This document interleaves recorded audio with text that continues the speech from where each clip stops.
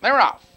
On the inside, there goes Colonel Skywalker for the lead. Now they bank into that first turn, and Colonel Skywalker benefits from the inside, but Mystic Cole is on the attack on the outside. Second, Fair Courtney is right there in third. Three lengths back to Federal Arsenal. Four lengths back to Rude Rebel and Adorable Amore. Out of the turn, moving for the quarter and Colonel Skywalker trots out to length and a quarter. Mystic Cole is second now by two and a half lengths, followed by Fair Courtney in third, another off the quarter.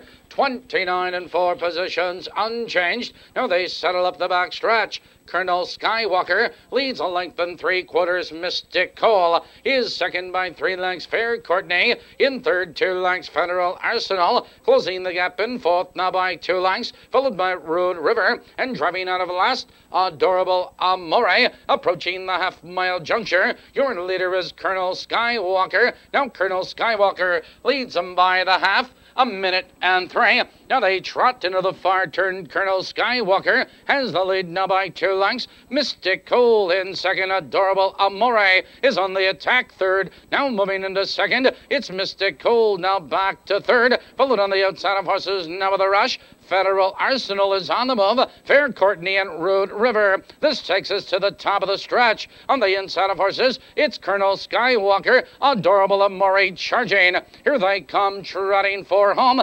Adorable Amore is on the outside looking Colonel Skywalker right in the eye. But here comes Federal Arsenal charging three wide. On the inside of horses, Mystic Cole is there. There's three trotters across the track. Federal Arsenal is on the outside under the whip. Here comes Mystic Cole, another move as they come to the wire. It's Federal Arsenal with the lead. Mystic Cole and Colonel Skywalker. It is Federal Arsenal under the whip at the wire. Mystic Cole and Colonel Skywalker third.